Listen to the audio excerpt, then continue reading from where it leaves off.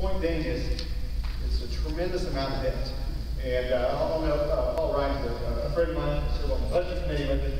We were talking about the budget last couple of years. By the way, your U.S. House of Representatives has actually passed the budget in Washington. It's been more than 1,200 days since the U.S. Senate. 1,200 days since they actually passed the budget. Here, how, how about you run a business, you went to your banker, and said, oh, by the way, I want to borrow some money, a few billion dollars, but I have no budget. And I don't plan on having a budget. And my name is Harry Reid, I've announced I plan on not passing a budget. You wouldn't get the money. But every day, your federal government in Washington, for three and a half years in a row now, has borrowed three and a half billion dollars every single day on average. Three and a half billion for three and a half years.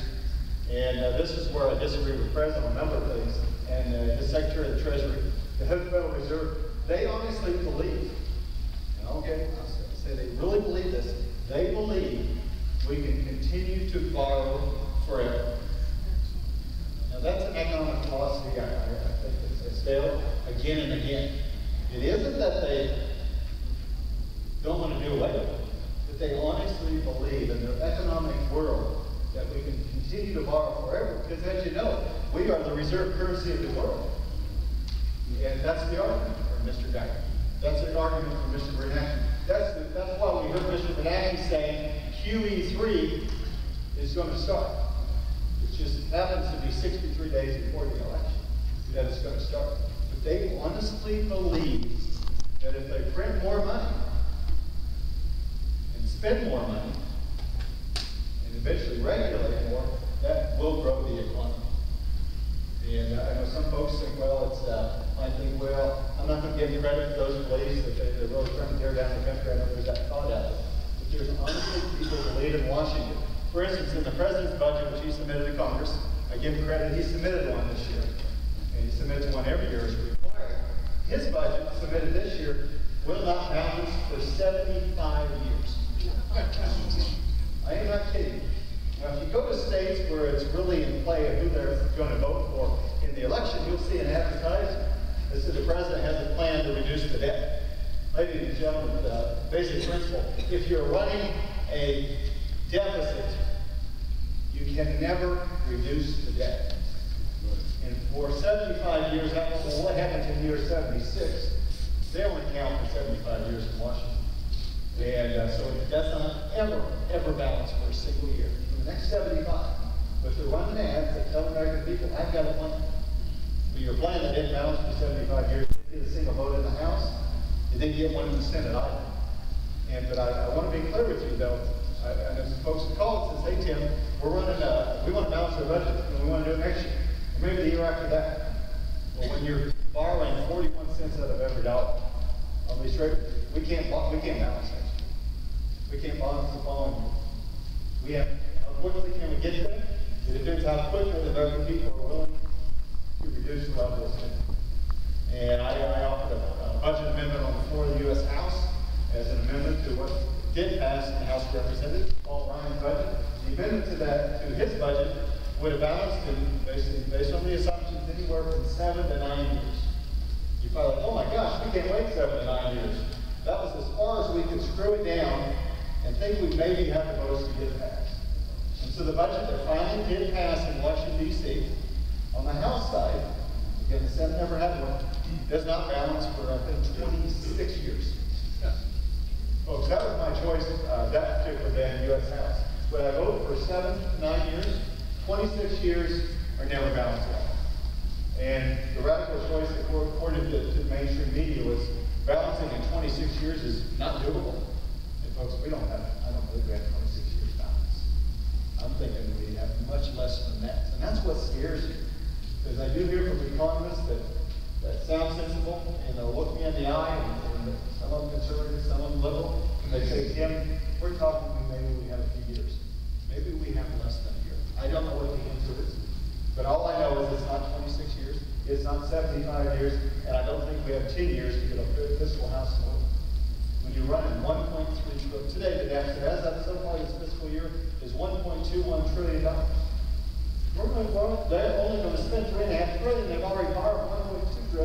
they're not really of the area. This has been going on. So back, they were talking about how big uh, the deficits were. They were really going after the former president, and, and rightly so. And it's monstrous, they had a monstrous debt of 162 billion. That was the debt for Alabama in the last three or four years. And we continue to go down and down. And uh, as we, we go forward, and, uh, and I opportunity to visit with, uh, the folks that, that work for one of the presidential candidates anyway, pretty closely. And they recognize that we have a very short window to put us on the trajectory to get our fiscal house in order. Or else we won't be calling our shots. We'll be like Spain waking up one morning. Or like Greece waking up one morning where, where you don't make your own calls. And we're getting very close to that. And I think, uh, maybe I, uh, I'll tell the story to you, uh, last time I visited with you, and I apologize if I repeat that, but it's, uh, for a small kid from a little town of Fowler, Kansas, uh, sitting in a room with the fifth highest ranking official from China fifth highest ranking official. They're telling me this is what you're going to do with your budget, or we're not going to loan you money anymore. That's pretty scary. And we're able to write down and say, yeah, we may or may not do that. But uh, there will be a point in the future, point in time where we will lose control of our country. We will have our policies dictated by somebody outside the United States. It's one thing to fight over here in this country, but to have our creditors, say, you know what, that's, that's not good enough. And we see that in other nations. Right now, we're operating on the good graces of what is the reserve currency. But the reserve currency is devalued every single day, Mr. Bernanke runs the printing presses. And QE3 is exactly that. To continue to print money, to hopefully believe in economic theory is that if Uncle Sam spends the money, he's going to actually create more economic activity than if uh, any business in Hutchinson did. That's the philosophy. That's the theory. It, it, they tried it in the 30s. You know, they took what was an economic recession and made it into the worst depression in the history of our country. And we were the only country in the world going through this long-term depression. They've taken that same philosophy, that same theory, and now applying the policy to debt. And at the end of the day, you end up with $60 trillion in debt. You have 23 million Americans that are either unemployed or underemployed or looking for work. And that's the thing. I, I told Mr. Bernanke, I said, you know, we can talk about quarter points and growth, and you promised we'll never get under 8% unemployment. It's never, or it will always be under 8%. It's never been below 8% since your stimulus package. But I said, Mr. Bernanke, those are just numbers. The reality is there's 23 million American families that are out of a job or looking for more work because that policy failed. That policy failed. We wish it would have succeeded. We wish it would have worked. I didn't think it would. And uh, but, uh, the Obama promises that it work and it hasn't. And as we move forward and talk about that, and hopefully as we look back in the past, and uh, we'll hopefully remember what, what did it, it did I think there's always this open, you see that folks coming to Washington, and I appreciate that. Say, gosh, if you, Tim, if you would do just this one thing, it'd be amazing all the jobs that would create. And I just say, hey, wait a minute, I talk to small businessmen and women in Hutchinson, all across the first district, actually all across the uh, United States of America. And what they're saying is, we don't want your help, Tim. We want you to leave us alone. We're tired of the new regulations. We're tired of the taxes. We're tired of the uncertainty of the healthcare plan. And by the way, don't be fooled. I'm talking about Obamacare here. And by the way, I think there's some media here that's jumped on me recently because I actually said the word Obamacare. With all due respect, the president also calls it Obamacare. And it's your signature legislation. Hopefully you'll talk about it all the way through your convention. But the truth of the matter is, if you plan to be on Medicare or you're on Medicare now, Obamacare rated $716 billion out of Medicare to fund Obamacare. $716 billion. Because they couldn't pay for it. It was tax increases they had. And it's coming in, all, uh, estimates have already increased before they even started the program. But if you're worried about Medicare, Obamacare is hiding the future Medicare. Because if we do not repeal Obamacare, Medicare can be bankrupt in this U.S. I think the latest figures might be nine years. Who in here would plan on living more than nine years? yeah. And, and by the way, if you are not planning on living more than nine years, I would suggest the end of the year might be a good uh, target to look at. because if you die before the end of the year, you will not face a 55% death tax.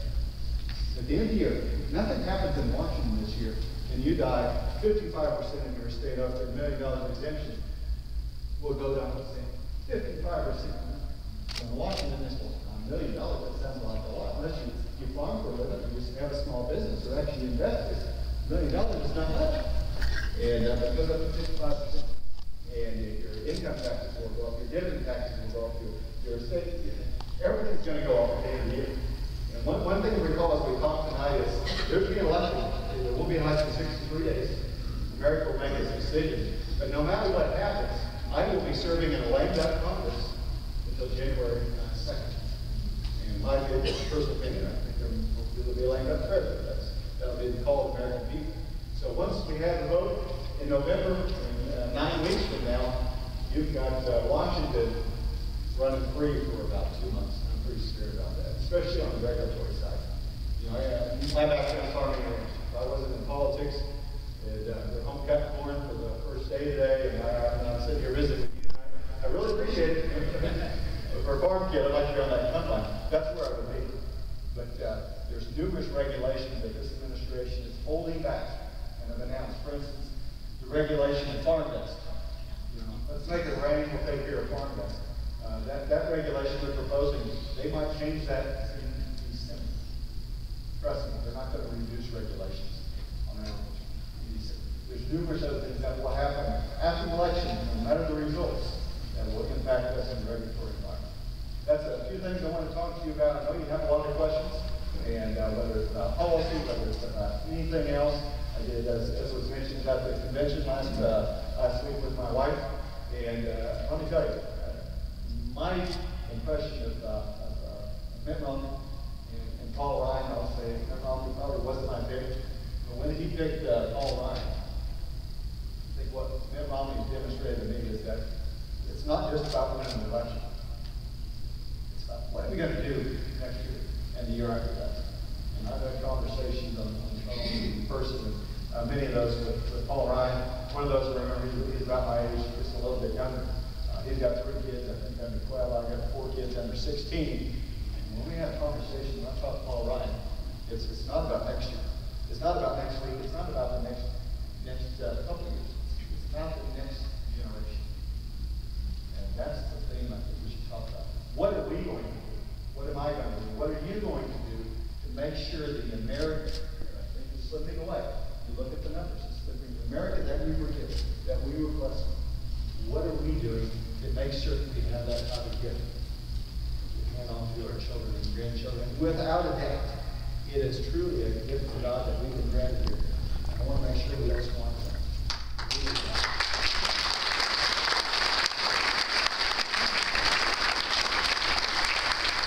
So, so, when the founders wrote that Constitution, I believe it was divinely inspired. And again, I said it once, and I'll say it again, they wrote that to make sure that they themselves were limited in power. Outside of writing that Constitution, they planned on being anonymous. It wasn't written for somebody else. It was written for them. And they said, don't trust us. Don't trust anybody. And make certain that there's limits on the power, make sure there's a, uh, different branches to counter each other. And make sure there are frequent elections. Thank goodness for elections. That's, that's, uh, most responsive in my opinion. But with that, I want to turn it over to you and your questions, and let's see what, uh, what we have. Yes, sir. Well, I understand you're a farmer, and being a farmer, I understand you're a farmer, and, uh, under the Senate bill that was sent to the House uh, in the, uh, the farm bill, uh, I understand that over half the cost of crop insurance is paid for by taxpayers. And